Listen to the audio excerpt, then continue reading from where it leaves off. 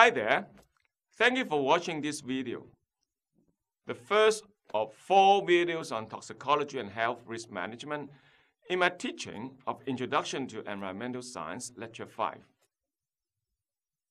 I'm KM, an associate professor in the School of Life Sciences, Chinese University of Hong Kong. One of the human sustainability issues is could we survive after we have contaminated our beautiful planet Earth? From the last century, human activities have been making anthropogenic or human-made contaminants, causing pollution and contamination around the world. This lecture aims to discuss how we understand the toxic effects of these chemicals we produce and how we manage our health risks to handle these chemicals. There are four videos on this lecture. One, pollution and risk assessment.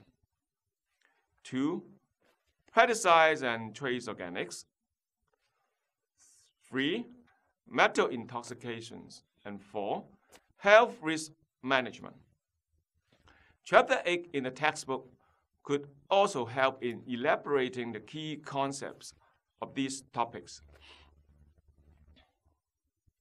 Major threats from the environments could be from the water, soil, and air before entering to our body. The main two types are microorganisms and chemicals. Microorganisms could be bacteria like Salmonella and viruses like HIV, bird flu, West Nile, etc. They could kill immediately and have severe acute toxic effects. Common symptoms include like diarrhea causing dehydration to kill. Also, some parasites such as malaria transmitted via mosquito are causing pandemic diseases in some countries. For the chemicals, the two main types are organic and inorganic, such as metals. The dangerous ones are those persistent, accumulable, or have biomagnification while food chains. They usually have chronic effects causing cancer or even obesity. Microorganisms causing emerging and re-emerging infectious diseases include several major ones like E. coli, 0157, 0104, many enterovirus, since we use antibodies, uh, sorry, since we use antibiotics to get rid of them. Superbugs or antibiotic-resistant microbes are now becoming a major threat. There are also, there are also many viruses like uh, hantavirus, influenza viruses come, become nasty and they are threatening us every year. Our healthcare management system would put much emphasis on preventive medicine data from WHO, World Health Organization, showing our life expectancy is 71.4 years for the global population born in 2015. However, 1.7 billion people need treatment and care. Household air pollution from cooking fuels also cause around 4.3 million to die every year. Now, how about road traffic injuries? You hear this all the time in the news. How could we prevent that or couldn't we? Accident is an accident, but if we could be more aware, we could avoid them, couldn't we? This chart, already simplified, explains the public's perception of risk. Some risks are less dangerous, but the public's perception may think otherwise. Some risks are observable, but some are not that obvious, as shown with low awareness on top, such as DNA technology and adding fluoride in water going down to high or more observable risks like bicycle.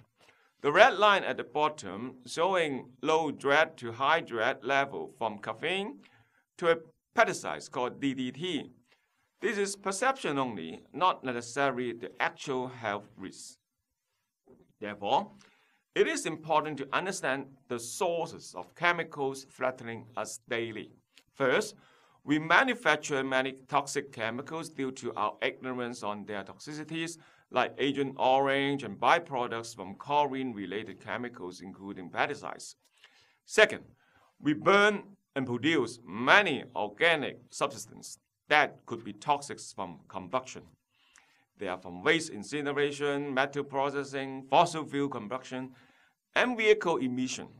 Thirdly, many of these chemicals are persistent and already in the food chains. They are usually in the dairy products, meat, milk, and eggs with high concentrations from biomagnification effects. We had had many severe cases of pollution causing major environmental health issues, but nowadays we have more and more cases of contaminations. What levels of contamination can you deal with or put up with? Since the dose makes the poisons, as Paracelsus already pointed out 500 years ago, he said, What is there that is not poison? All things are poison and nothing without poison. Solely the dose determine that a thing is not a poison, and this is the golden rule of toxicology. The dose makes the poison. You have to remember this even if you forget other key concepts mentioned in this lecture. This figure is the toxicity scale of example substance from the most toxic compound of a natural toxin, botulinum toxin or Botox. Dioxin, a man-made toxicant, to pesticides, ethanol, sodium chloride, it's up there, could be toxic too. If we consume more salt, when you get old, your blood pressure could be high. How about pesticides like DEHP? Once thought not that toxic practically, now plastic is everywhere. We start to worry its toxic effects. A good example is paracetamol, or a common medicine called Panadol. It is useful to block your feeling of headache, but it is a powerful drug that could damage your liver if you overdose it. Here's the key concepts of knowing your drug. Should have a low pharmacological dose, but a high physiological dose to kill to make it a safe drug. Chemicals as drugs should have such benefits over the risk to kill, and it all depends on the dose you use. How do we determine the toxicity of any substance? The answer, the answer is that we have to determine it experimentally and calculate the half level dose LD50. LD50 is the dose that is lethal to half of the population or killing half of the population being studied. We need to obtain a reasonable dose response curve with more kills noticed in higher dose Thus, the LD50 could be drawn on the curve clearly. A third threshold dose should also be clearly noted without any significant harm comparing with the controls. For any good drugs, their effective doses should be much lower than that of their lethal doses. Here we are comparing three dose response curves from compounds A, B, and C. Which one is more toxic? Obviously, compound A is more toxic and it needs a lower dose to kill. And if we use a low dose, that not mean that it is not toxic. Just that high dose would have acute toxic effect. Low dose would have sublethal effects. Using subchronic or moderate effects, time obviously is a crucial factor here or important factor here. LD50 values are usually determined for 24 hour or 96 hour. Comparing the acute or chronic effects, acute effects are closer to lethal dose with obvious damaged biological functions or pathological outcomes or loss of functions. Whereas for chronic effects, the effects are sublethal. We could use biomarkers to study the effective concentration or EC50 Therefore, special biological effects are, uh, should be studied, such as uh, carcinogenesis or liver damage. Modern environmental medicine also study endocrine system and reproduction.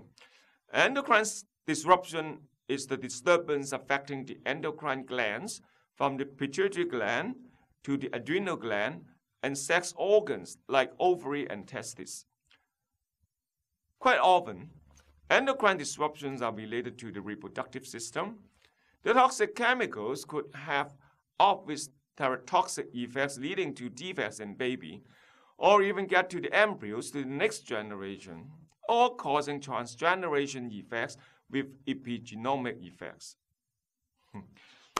the last slide here has two MCQs for clicker or clicker questions. One, 0.1% equals to 0.1 ppm, 1 ppm, 10 ppm, 100 ppm, or none of the above. Think about this. Here, ppm is part per million. 10 power minus 6, so that's 0.000001. Or 0.001 is 0.1%, or 10,000 ppm.